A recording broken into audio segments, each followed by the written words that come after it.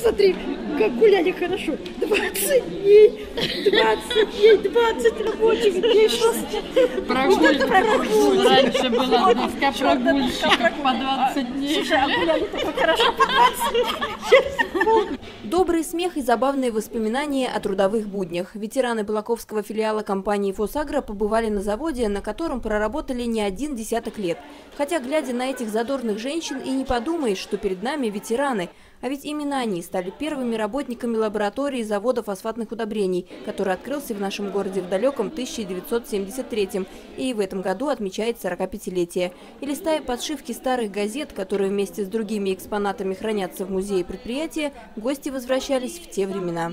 Мы знакомые фотографии смотрим. Это наши девочки. Лидия Васильевна.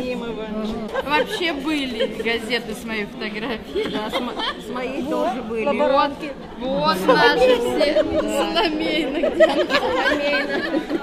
Эти девчушки-хохотушки работали в Центральной заводской лаборатории и в отделе технического контроля, без которых не могло функционировать предприятие. Ведь именно лаборанты и контролеры следят за качеством производимой продукции, и от их добросовестного труда зависят объемы отгружаемых удобрений. Ответственность, профессионализм, а, честность и безотказность, потому что, конечно, э, люди, работники нашего подразделения, которые отвечают и за анализ продукции, и за оформление документации при отгрузке продукции в разные страны мира и по территории нашего, нашей страны, то без ответственности и без безотказности это просто невозможно. Во время экскурсии по территории Балаковского филиала «Фосагро» лаборантки вспоминали, где находились цеха и склады, и какой была их лаборатория. Цех фосфорных удобрений как стоял на этом месте, так стоит, никуда он не делся.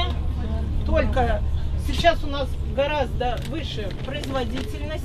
Можете обратить внимание, территория ЦФУ, кто давно уже не был на заводе, как она преобразилась. Вот кто помнит, здесь раньше были склады серой, комовой.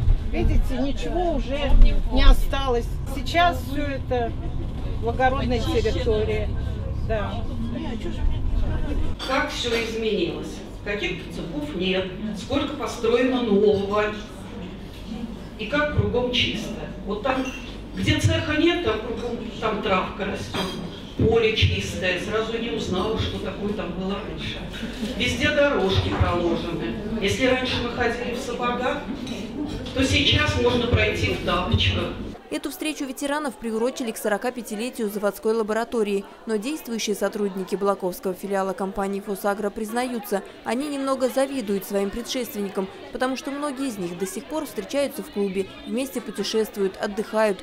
Благодаря заводу они стали одной большой семьей. Мы жили одной семьей. И мы даже вот сейчас часть ушла, часть осталась. Да? Вот мы все время созваниваемся. Я нисколько не жалею о том времени, когда начинали мы, когда мы ходили в сапогах, когда мы надевали противогазы, когда стояли на точки, пускали каждый цех. И хорошо, что это как бы это было в моей жизни. Люди того времени умели не только хорошо работать, но и отдыхать. И поэтому состязание, которое подготовили в этот день для ветеранов, напомнило им про заводские мероприятия и помогло превратить обычное чаепитие в незабываемый веселый праздник. Вам нужно будет очень быстро, за 10 секунд написать правильный ответ на поставленный вопрос. Но э, так как это блиц, вопросы очень простые, я думаю, что вы, профессионалы, с ними легко справитесь. Какой камень искали алхимики? Из чего была сделана медаль за пьянство? Как собирать водород в пробирку? Ответы на эти и многие другие вопросы знали, конечно, практически все участники игры, ведь большинство заданий были по химии, и в этой тематике лаборанты со стажем – настоящие асы. Ну а кроме знаний по химии, игроков объединили чувство юмора и высокий уровень интеллекта. Долго совещались, и я решила. В общем, в общем это традиция в центре. Место и главная премия присуждается команде... Да ладно! Да ладно!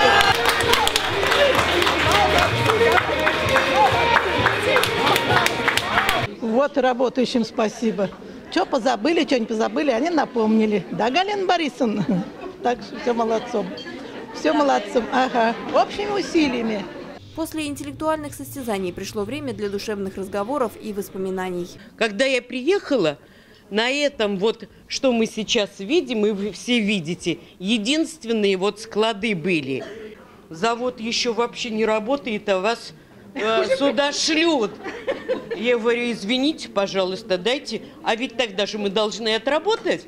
Дайте, пожалуйста, мне, что вы не нуждаетесь в молодых специалистах. Я уеду.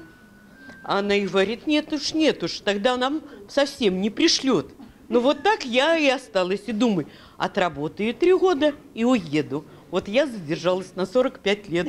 Эти ветераны просто жили и работали на любимом предприятии, создавая хорошую базу для молодых специалистов, которые пришли им на смену.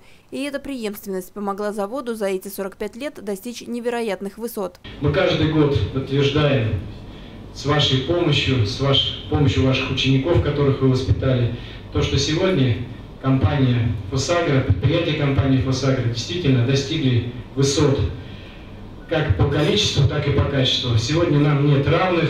Мы действительно делаем с вами очень важное дело. Мы выпускаем витамины роста. Кстати, сотрудники Центра аналитики и контроля качества, бывшие и настоящие, готовятся к еще одному событию. 26 мая на Центральной площади состоится празднование Дня химика – в 19 часов начнется концерт с участием известных на всю страну артистов. Сначала выступит группа «Каша» со своими вариантами знакомых песен. Затем Анна Плетнева, экс-солистка группы «Винтаж» со своим красочным шоу.